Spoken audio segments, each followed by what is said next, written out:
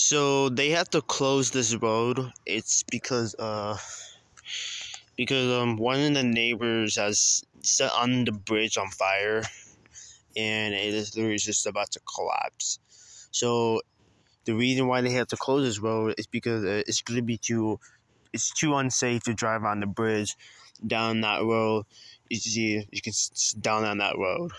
So you get one of the crazy neighbors just, just let the fire go, and it's just lit on fire, which that is unbelievable.